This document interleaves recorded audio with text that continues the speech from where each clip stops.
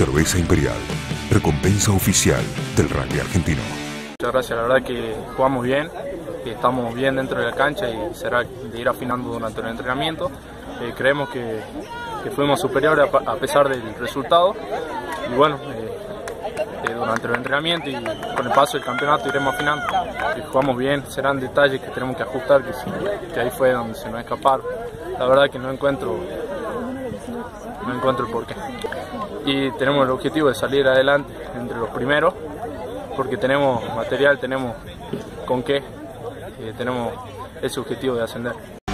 Cerveza Imperial, recompensa oficial del rugby argentino.